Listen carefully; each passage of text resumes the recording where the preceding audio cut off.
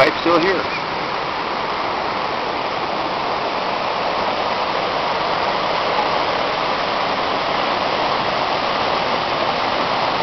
The resort of Ney Springs, made in 1880.